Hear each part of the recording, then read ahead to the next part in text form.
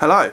Welcome to Video Game Bucket List. What is Video Game Bucket List? Well, essentially it's going to be my to-do list. Everything to do with video games.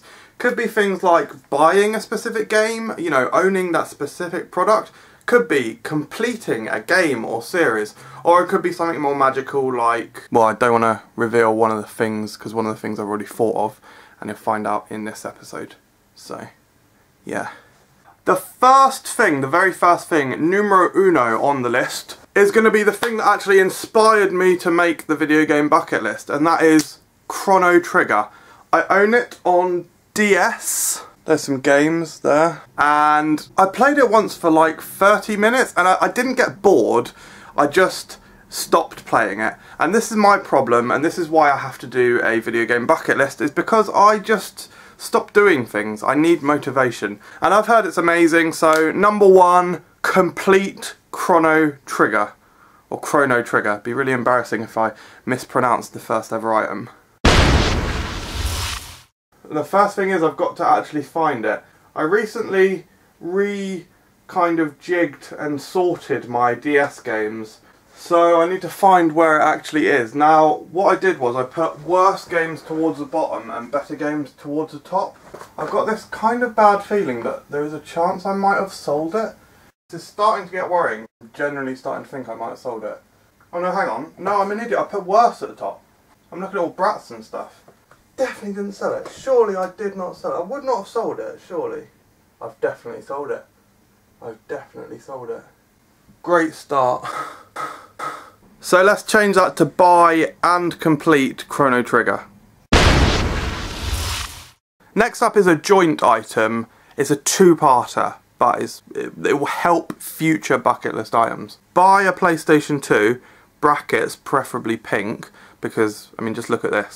That is really, really good looking. And purchase SSX Tricky 2, which is not a game, doesn't exist and purchase SSX Tricky and play it to death.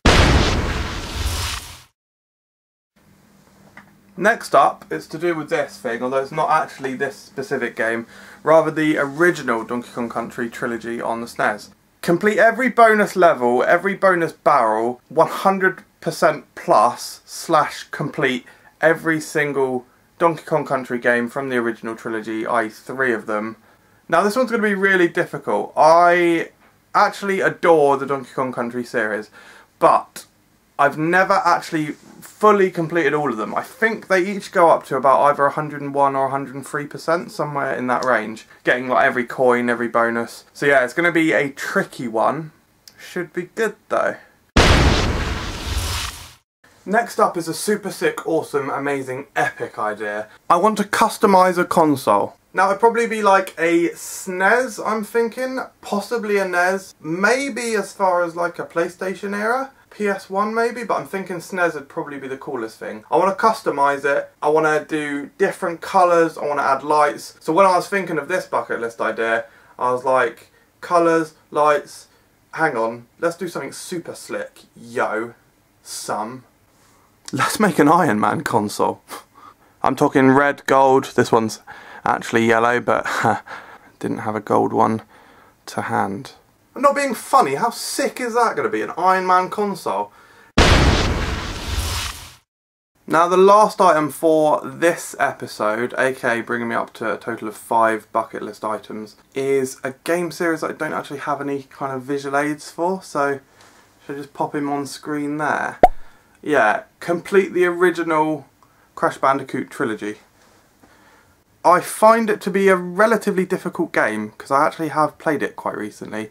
I believe I own them all on the PlayStation account system thing because I think they're on Plus, right? So I think that means I'll be able to play it on Vita or PS4 slash PS3, probably one of them. But yeah, I'll definitely do that and that'll be really good, I think. Yeah, so there you have it guys, this was the very first ever edition of Video Game Bucket List. I hope you enjoyed it. If you've got any suggestions for my bucket list, you know, I want it to be fairly big, so if you want to let me know in the comment section, you know, crazy ideas are welcome, I would definitely check them out and I definitely will expand it. So, in future episodes we will be adding more stuff to the list and checking progress of what I've been doing so far and it will be sick and awesome. Thanks for watching subscribe for future episodes.